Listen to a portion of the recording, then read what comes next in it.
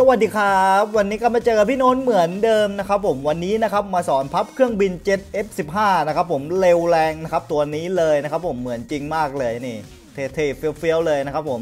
โอเคเดี๋ยวเรามาเริ่มกันเลยดีกว่านะครับเพื่อเป็นการไม่เสียเวลาก็อย่าลืมกดไลค์กดแชร์กด Subscribe กดกระดิ่งให้พี่นนท์ด้วยนะครับโอเค เดี๋ยวเรามาเริ่มกันเลย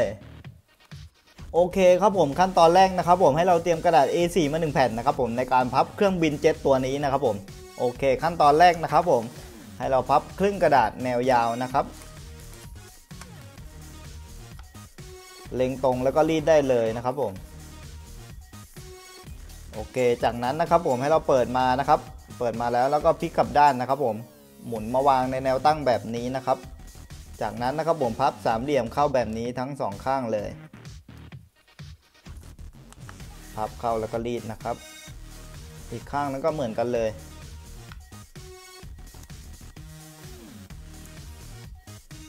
โอเคพอได้ในลักษณะแบบนี้แล้วนะครับผมขั้นตอนต่อไปนะครับผมเราจะเอาหัวด้านนี้นะครับผมพับลงมานะครับ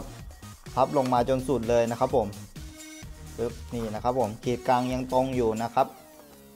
ให้เราทำการรีดได้เลยนะครับ ผมรีดด้านบนนะครับปึ๊บโอเค พอได้ในลักษณะนี้แล้วนะครับ ผมขั้นตอนต่อไปนะครับ ผมให้เราพับสามเหลี่ยมขึ้นนะครับ ผมจากมุมนี้มาถึงมุมนี้นะครับ ให้เราพับขึ้นแบบนี้นั่นเองนะครับผม นี่เหลี่ยมเหลี่ยมเลยนะครับผมเหลี่ยมชนเหลี่ยมเลยนะครับ ด้านข้างนะครับผมนี่แบบนี้เลยนะครับ ตรงกลางก็ยังตรงอยู่เหมือนเดิมนะครับผมรีดปุ๊บปุ๊บโอเคโอเคโอเคครับผมพอได้ในลักษณะนี้แล้วนะครับผมจากนั้นนะครับให้เราดึงออกมาแบบนี้นะครับผมโอเค ขั้นตอนต่อไปนะครับผมเราจะพับขอบนี้มาชนกับขีดในนะครับ พับเข้าแบบนี้เลย มาชนกับขีดกลางนะครับผมตรงๆแบบนี้นะครับโอเคขั้นตอนนี้นะครับผมพอเราจับได้แบบนี้แล้วนะครับ ผมเราจะรีดมาถึงตรงนี้นะครับ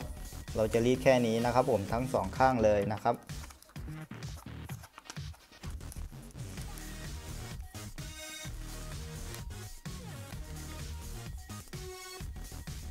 โอเค พอเรารีดได้ทั้งสองข้างแล้วนะครับ ผมให้เราทำการเปิดกลับมาครับปึ๊บนี่ ให้อยู่ในลักษณะนี้นะครับผมขั้นตอนต่อไปนะครับ ให้เราพับลงตามรอยเดิมนะครับ แล้วก็พับขึ้นตามรอยเดิมปึ๊บนี่ อยู่ในลักษณะนี้นะครับผมโอเคพอได้ในลักษณะนี้แล้วนะครับผมขั้นตอนต่อไปนะครับ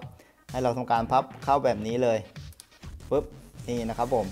พับเข้าแบบนี้นะครับ แล้วก็เอานิ้วสอดเข้าไปข้างในแบบนี้นะครับ ผมดันดันตรงนี้นิดนึง แล้วก็ทำการพับลงนะครับ พับลงแบบนี้เลยนะครับ ตรงนี้ให้มันงอนะครับผมปึ๊บนี่พับลง ให้มันพับมาชนเหลี่ยม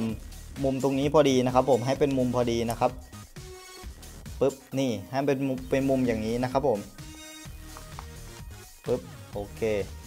พอได้เป็นมุมแบบนี้แล้วนะครับ ผมเป็นเหลี่ยมแบบนี้แล้วเราก็รีดด้านข้างได้เลยนะครับโอเค เดี๋ยวพี่นนท์ทำให้ดูอีกรอบหนึ่งนะครับ ผมด้านนี้นะครับ ผมก็ทำเหมือนกันเลยนะครับ ให้เราทำการพับลงมาก่อนนะครับผมปึ๊บนี่พอพับลงในลักษณะนี้แล้วนะครับผมเอานิ้วดันด้านในหน่อยนะครับผมเราเราจะดันตรงนี้ให้โค้งนะครับผมนี่ให้โค้งแบบนี้นะครับ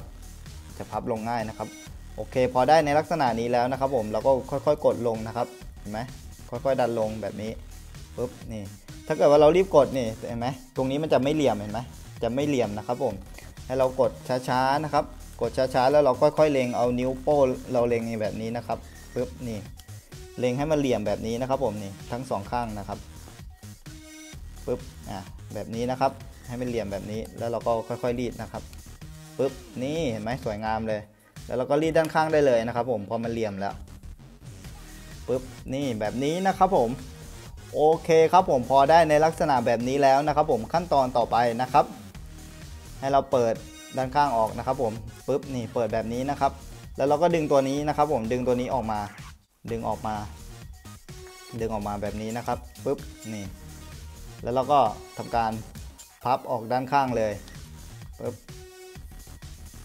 นี่ให้อยู่ในลักษณะแบบนี้นะครับผมอีกข้างก็เหมือนกันนะครับ ผมทำการเปิดดึงตัวนี้ออกมาปุ๊บแล้วก็พับออกข้างแบบนี้เลยนะครับ โอเค โอเคครับผมพอได้ในลักษณะแบบนี้นะครับผมจากนั้นนะครับให้เราพับตัวนี้เข้ามาตามรอยเลยนะครับ มันจะมีรอยขีดอยู่เห็นไหมครับทุกคน ให้เราพับเข้ามาแบบนี้เลยนะครับ ทั้งสองข้างปึ๊บโอเคนี่พอเราได้ในลักษณะนี้แล้วนะครับ ผมขั้นตอนต่อไปนะครับ เราจะพับตัวนี้นะครับ ผมพับขึ้นมาชนชนขีดด้านบนเลยนะครับพับพับขึ้นมาชนขีดด้านบนแบบนี้นะครับผม แล้วเราก็ค่อยๆรีดนะครับ รีดไปปุ๊บนี่ก็จะได้ในลักษณะแบบนี้นะครับ ผมให้เราทำแบบนี้ทั้งสองข้างเลยนะครับ พับขึ้นนะครับผมปุ๊บแล้วก็ดันตรงนี้นิดนึงนะครับ แล้วก็รีด นี่ก็จะได้ในลักษณะนี้เลยนะครับผมโอเค พอได้ในลักษณะนี้แล้วนะครับ ผมขั้นตอนต่อไปนะครับผม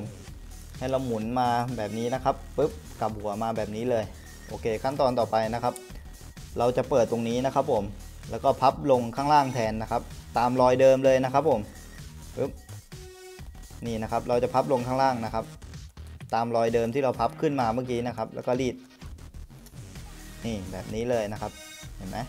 นี่นะฝั่งนี้นะครับผมเราก็เปิดออกนะครับ เปิดออกในลักษณะแบบนี้นะครับผม แล้วก็พับลง พับลงตามรอยเดิมนะครับปึ๊บนี่แล้วเราก็รีดได้เลยนะครับ โอเค พอได้ในลักษณะนี้เราก็หมุนกลับมาเหมือนเดิมนะครับ โอเคครับผมพอเราหมุนกลับมาเหมือนเดิมแล้วนะครับ ผมขั้นตอนต่อไปนะครับ ให้เราทำการพับไอตัวนี้เข้าเลยนะครับ ผมเอามุมนี้นะครับ มาชนกับขีดตรงกลางนะครับ ผมตรงนี้พอดีนะครับ พับเข้ามาแบบนี้เลยนะครับ ผมให้มุมชนขีดตรงกลางแบบนี้นะครับ ชนแล้วก็รีดได้เลยนะครับผมทั้งสองข้างนะครับผมทั้งสองข้างเลยพับเข้ามามุมชนมุมนี่แบบนี้นะครับ จับมุมไว้นะครับผมแล้วก็รีดโอเค พอได้ในลักษณะนี้แล้วนะครับผมขั้นตอนต่อไปให้เราพับประกบกันนะครับพับประกบเข้ากันแบบนี้เลยปึ๊บโอเค แล้วเราก็เล็งได้เลยนะครับ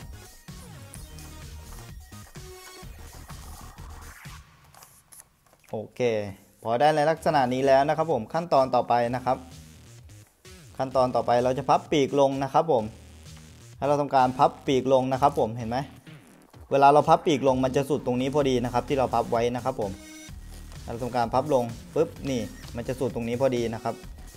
แล้วก็ให้เราพับเฉียงนิดนึงนะครับ ผมให้เราพับเฉียงไปด้านหัวนิดนึงปุ๊บนี่นะครับผมให้เราพับเฉียงขึ้นแบบนี้นะครับ เห็นไหมครับทุกคน นี่นะครับให้เราพับเฉียงตั้งแต่หัวนะครับผมพับเฉียงขึ้นไปด้านท้ายนะครับปุ๊บนี่เฉียงขึ้นไปแบบนี้นะครับผมถ้าตรงแบบนี้นะครับผมจะไม่ค่อยดีต้องเฉียงอย่างนี้นะครับเฉียงขึ้นแบบนี้เลยโอเค พอเราพับด้านนี้แล้วนะครับผมอีกด้านนึงก็เหมือนกันเลยนะครับผม ให้เราพับขึ้นมานะครับผม แล้วก็มาเล็งด้านบน โอเค แล้วเราก็รีดได้เลยปึ๊บ โอเค พอได้ในลักษณะนี้แล้วนะครับผมให้เราบีบปีกขึ้นมาใหม่ปึ๊บมาประกบกันแบบนี้นะครับนี่โอเคนะครับผมจากนั้นให้เราจับไว้แบบนี้นะครับผมขั้นตอนต่อไปนะครับผมเราจะแต่งปีกนะครับผมปีกกับท้ายของ F15 นะครับผมให้เหมือน F15 มากขึ้นนะครับ เราจะตัดลงไปแบบนี้นะครับผมก็ตัดเฉียงเข้าไปแบบนี้นะครับ โอเค จากนั้นนะครับผมให้เราตัดตรงนี้ตรงเลยนะครับ ปึ๊บนี่ในลักษณะแบบนี้นะครับผมโอเคแล้วเราก็เปิดดูได้เลยนะครับปึ๊บพับปีกลงปุ๊บนี่ก็จะได้ในลักษณะนี้เลยนะครับผมโอเค ขั้นตอนสุดท้ายนะครับ ผมให้เราพับปีกตรงนี้เข้ามานะครับ 1 เปิดออกนะครับผมเราพับเข้ามาอีกรอบหนึ่งสองเปิดออกนะครับ นี่แบบนี้ทั้งสองข้างเลยนะครับผมปุ๊บ นี่แค่นี้ก็เป็นอันเสร็จสิ้นนะครับผมนี่แบบนี้เลยนะครับ เครื่องบินเจ็ตนะครับผมเครื่องบินเจ็ต F15 นะครับผมสวยๆเท่ๆเลย